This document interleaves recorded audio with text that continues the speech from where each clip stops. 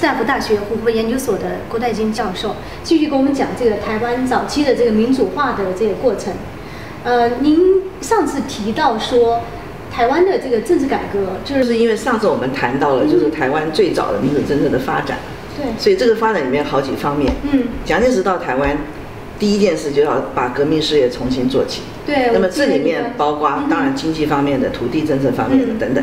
那么还有一个很重要就是党的改革。嗯嗯，啊，党的改，它叫党的改造，党的这个很重要。哦啊，因为蒋介石认为，嗯。在他整个的反省中，他认为中国国民党在中国大陆的失败最大的原因就是党，啊，嗯。党员的思想啊荡然无存，党员对主义的信念崩溃了，嗯。然后党的组织组织纪律也都是崩溃了，嗯。啊，所以他认为是党的问题是最大的，啊，所以就是他从事党的改造，所以到台湾来就就要做，第一件事就是党员重新登记，嗯。也就是说他在一定的期限之内你重新登记。嗯，你如果不登记你就视同放弃，嗯哼，那所以很多人没有登记的就没有了。你本来中国国民党在国中国是很庞大的，嗯，当年是很庞大，那么到台湾来，这样一下就很多人就没有了他为什么会。对这个党的改造这么这么注意呢？他是想把这个党塑造成一个先锋队，不是他是他认为就是说他认为就是说你这个党领导这个国家嘛嗯，执政党，嗯。可是为什么在中国大陆失败，而且失败的那么惨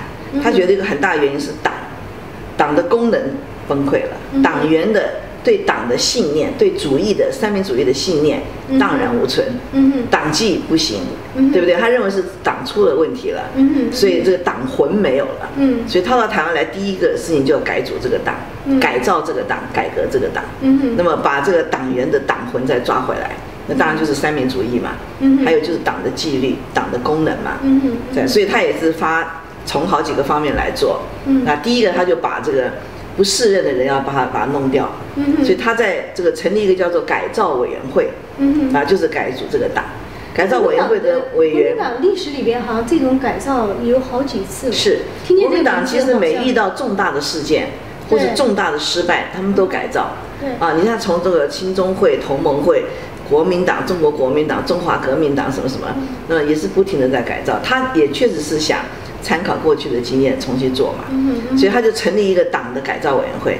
他这个因为大呃，我看到很有写文章就就会把这个跟就是呃当年这个就说，因为中国还有另外一个党哈，像中国共共产党这样子的，就会认为说这这个两党都在实行的一个比较强化的一个党化的一个一个一个一个领导的一个方呃方向，这个有有没有一种怎么样去看这个共性呢？我觉得是可以从不同的角度来看。嗯哼，那么把这个党打散了。嗯哼，现在再把它拿起来，嗯哼对不对？那当然这是对他的组织一个新生嘛。嗯，对那，当然你也可以说，哦，他更集中党的党的这个管理啊，权力更加集中。嗯哼你可以从不同，可是因为这样做，它的效能就更好嘛，嗯哼对不对？它的这个呃整个的迅速效率效能就更好嘛。那么是这个做的很彻底。啊，这个做了好几方面。第一个，把不适任的人都把他排出去。嗯啊，那么包括就是说，把陈立夫、陈果夫最最有名的二陈嗯 CC，把他们都排出这个党的真正的领导中心。嗯，啊，那么另外呢，他就成立了很多的这个不同的委员会。嗯，啊，比方说这个妇女会、青年的青年工作会、妇女工作会、农民工作会、渔民工作会嗯，啊。那么为什么他这样做？对因为我们知道中国国民党一开始是像工会吗？还是不是就是一个一个小组哦啊。那么那他中国国民党主要是个上层的党。嗯，对，在中国大陆，它的问题就是它是个上层的党，它没有跟基层连在一起。嗯相反的，中国大陆倒是从跟因为从农民运动起家，所以他跟基层的联络比较比较扎根。哦。所以蒋介石就是认为我一定要落到基层去。他当年用另外一种方式来做这个，就是基跟基层其实很多是参考中国对对共产党的的做法。做法，他在对他在中我们看他的日记，嗯。我想你也看到很多。嗯。他在中国大陆时就在常常自问，他很少批评共产党，他反而是问说，他认为这个共产党的组织做得非常好，嗯。宣传做得非常好。他常常问说，为什么他们相信他们不相信我们？嗯为什么教授们要跟他们走？嗯为什么青年学生跟他们走？嗯为什么妇女不相信我们要跟他们？为什么工人嗯不相信我们相信他们？嗯所以他其实有这种思考、嗯啊。可是因为在中国大陆他也没有机会做，所以后来五五零年这个党的改造，嗯他就成立了这个妇女党部。这个青年党部啊，那么那个渔渔民啊、工人等等的，并且呢，真正重要就是成立小组。所以党的运作是从各个小组开始。哦，OK，因为像我们我们现在参照系有很多哈，像像你提到的台湾的国民党的这种做法，我们也看到大陆的中共的一些做法哈，都是从这种基层里边做。当然我们在美国也看到这个美国有很多基层的做法哈，这里面有很多相似性，但都是看到这种就是说怎么样跟。呃，基层的这些民众的联系上，这这些这些有效率的社会都是怎怎么样在做的？当然，我知我们我们知道，最后大家方向是不一样的。这个就是说，你出来你要你要用这种方法来做什么事情是不一样的。嗯，没有，所以当时就是他这个改革，就是成在各地成立了各种的小组。这个小组每个小组可能只有十个人。对。那么，但是小组很认真的开会。对。啊。那么还有就是他在各地成立一个中国国民党民众服务社，嗯，也就是我大门是开的，嗯，你民众有什么困难你来我帮你解决，嗯那就是尽量跟基层跟草根接触，嗯哼，啊。那么这里面当然也有很多很有趣的事情，嗯比方说二陈陈立夫、陈果夫，嗯，在中国大陆那是赫赫有名的，对对，呼风唤雨的，那是。可是到了台湾来以后，蒋介石就要排他们，四大四大家族之一，对，要排掉他们，他就认为说中国大陆失败，他们是要负责任的，嗯哼，那么要排掉他们，那么这个 CC 派还很大的力量，对，因为他在国会在政府里面很多的人，对对，啊，那么所以议会里面，所以说也是造成很大的一个困扰，但是讲都是甚至于拿出杀手锏。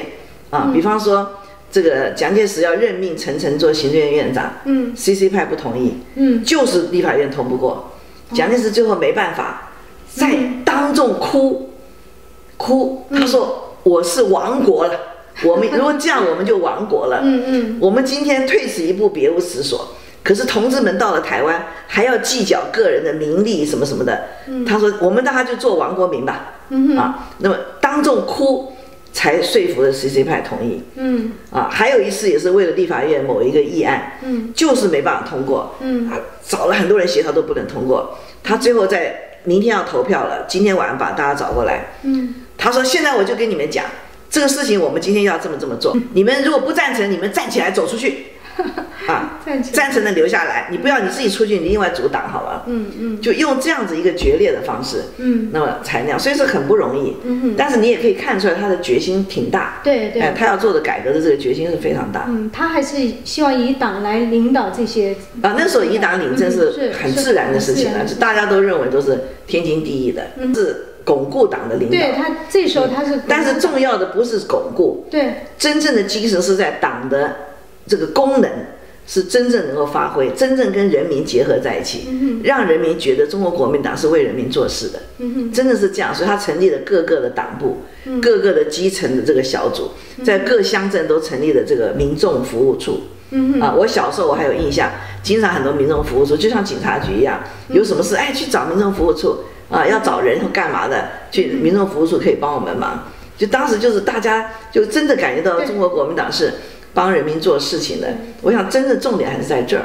对对，这个是这是很有意思的，因为我们都知道孙中山讲过一个说中国社会是一个一盘散沙的一个社会，没有办法组织起来一个社会。但他通过这个，就不管是共产党、国民党哈，他在通过这个党的这个组织，把这个社会给组组织起来，做一个组织化的一个一个东西。嗯，是，那就使得这个整个社会的整个功能能够运作的更有效率，运作起来。对，意思你刚才提到这个就是巩固这个改造党的运动的话，这好像是一个加强党权的一个一个一个方式。这个我们好像在就是一般的历史里边哈，对这个呃对这种做法都是有一定的看法的。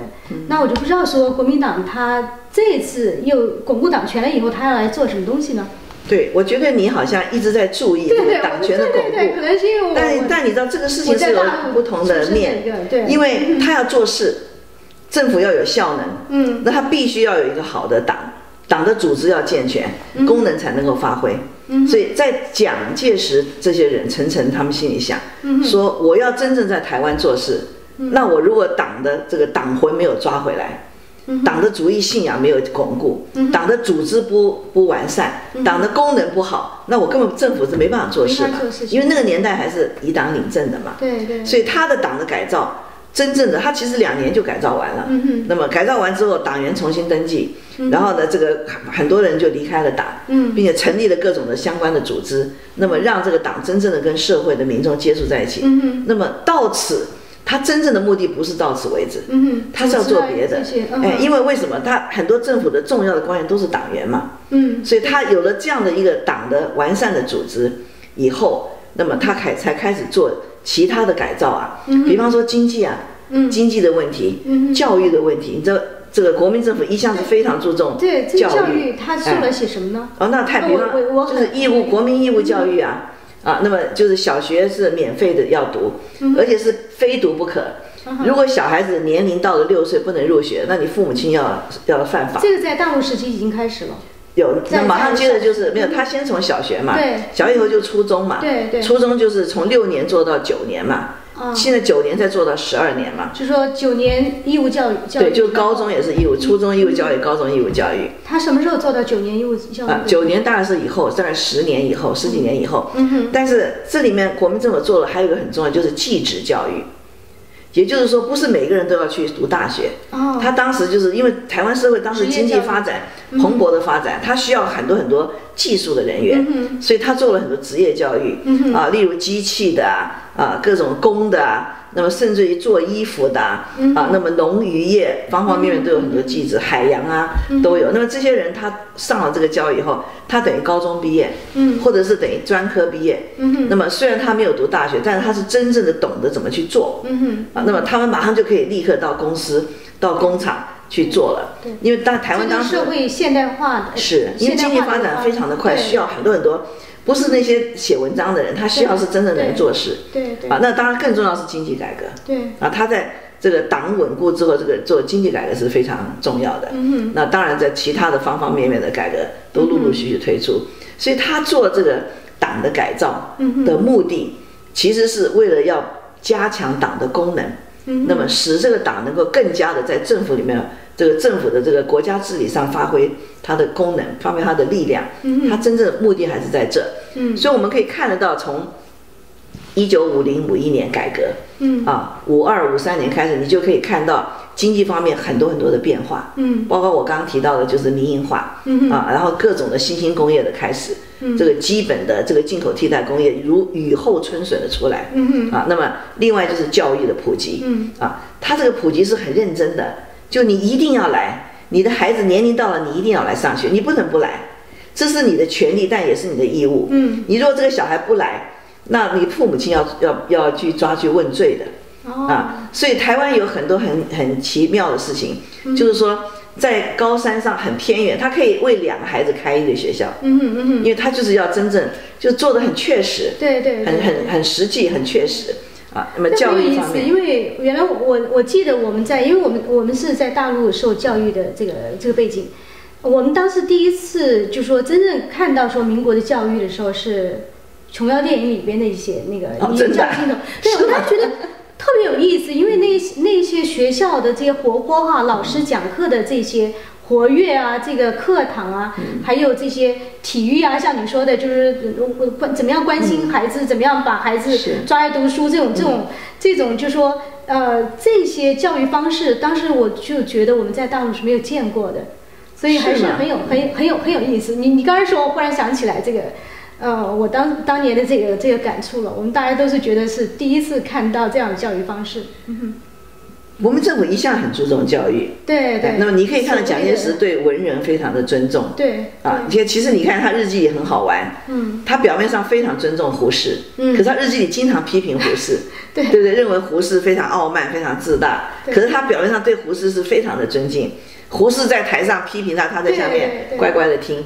啊。那我想心里面气得要命，他也不敢如何如何表现出来。对啊，所以非常注重所以。大家认为知识分子在就说在民国时期哈，包括在台湾时期，我觉得他大家都认为这是一个就是很有地位、很有尊严、很有是是，当然当老师是最受人尊敬的。嗯哼嗯哼我想蒋介石他们那些国民政府的领导，嗯他们有个信念，他就觉得这个这个发展需要人才，嗯。人才就要靠教育，所以他们很注重教育。实际上他们这样是对的。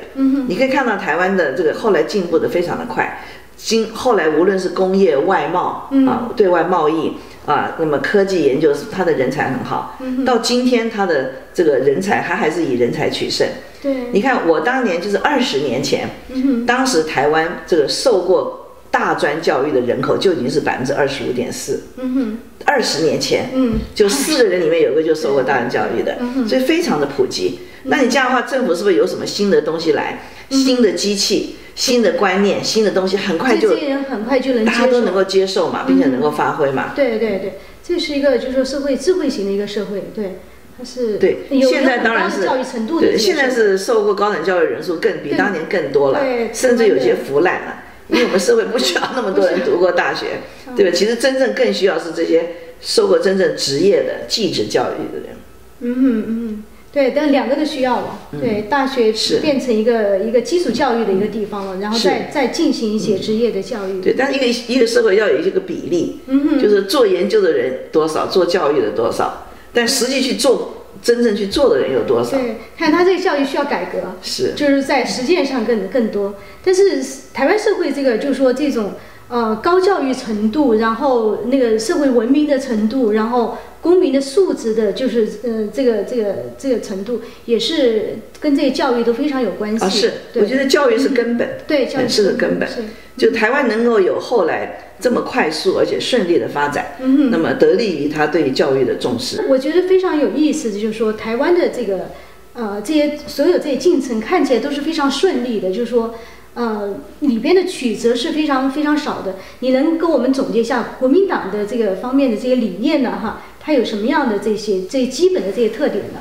台湾在某些方面来讲是挺顺利的，对，因为至少从五零年代、六零年、七零年代、八零年代，它的整个的发展都挺平稳的。嗯哼。啊，那么一方面，它的政治改革、党的改革很顺利，嗯哼，它的经济改革特别的顺利，嗯哼，然后成功的从一个内这个这个进口替代的社会转变为一个出口外销，而且当台湾经济蓬勃发展的时候，正好就是整个世界嗯，蓬勃发展，台湾正好搭上这个火车，嗯哼，啊，所以我想台湾方方面面都很顺利，啊，很幸运。可是另一方面，它之所以能够机会来了，他能上去，嗯是他准备好了。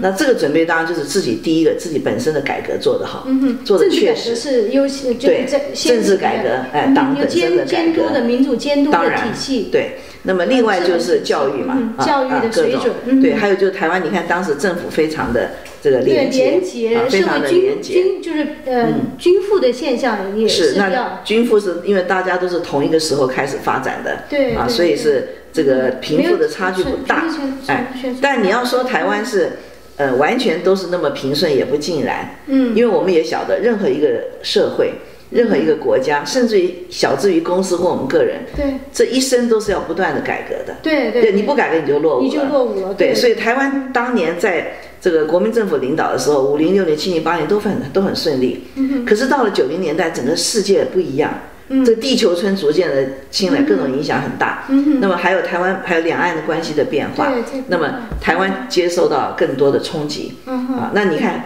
我们可以看到台湾很，其实今天台湾这个有很多问题让大家很担心。嗯第一个，它经济到今天还找不到一个非常好的出路，嗯还是靠吃老本。嗯啊，那么第二个就是教育啊，那么教育没有错，做得很好，但是过剩。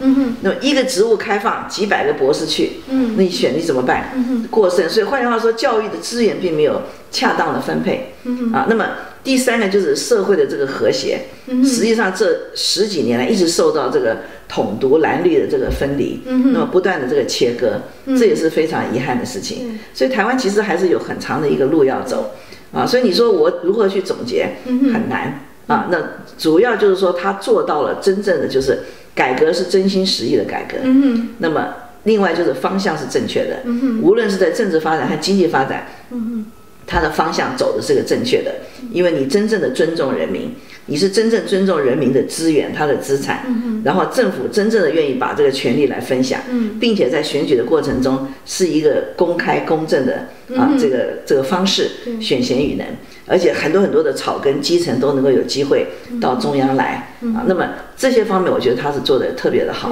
啊。但是当然，领导力，就是不是？当然我想就是早期比较单纯，对对现在当然各方面来的挑战比较多了，嗯对对对。也就是说现在的领导就要更要能够更要对呃他还因应各种不同的是也要这种出挑战。现一个这，样子的，是所以如何因应的，对，有有执行力，对啊，有没有能力来有应应这些挑战，并且带领台湾啊找到一个好的方向啊，走出台湾的目前的困境，我想也是台湾的朝野很大的一个挑战。对，这是华人的一些共同的希望，是嗯，我知道大家都希望台湾好嘛。对是我很多中国大陆朋友都说台湾这么好，社会那么温馨，那么进步啊，应该要保对珍惜它，要保存它对对对，也也是中中国的文化的一个根，是嗯哼，是好，谢谢哈，戴是军，，谢谢。嗯哼。